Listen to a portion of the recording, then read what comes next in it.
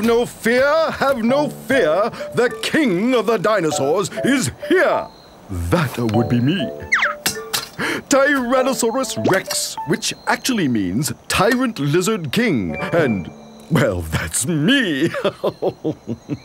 and did you know that a full grown T Rex, like myself, ta is more than 12 meters in length. That's longer than a school bus. And when I stand up to my full height, I'm taller than a double decker bus. We Tyrannosaurus Rexes weigh more than seven tons, you know. And I have the most beautiful teeth. Would you like to see them?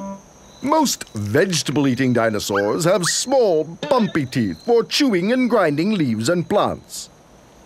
But, well, you see, I am a carnivore. Uh, that means meat eater, uh, yum yum yum yum yum. And my teeth are perfect for, well, there's simply no other way to put this, for eating other dinosaurs. And the best part is once my teeth get a little worn down, they're automatically replaced. It really is a tremendous honor being king of the dinosaurs. 65 million years ago, we T-Rexes ruled the world, especially these parts of North America. Here.